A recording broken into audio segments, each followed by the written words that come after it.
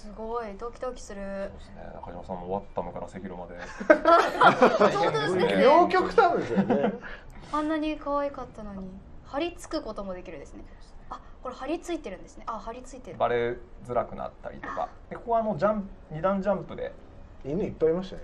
そうですね。困ほっといりたほっといた方がいいと思いますよ。うんそれで。あはいかっこいいな今。後ろ向きで。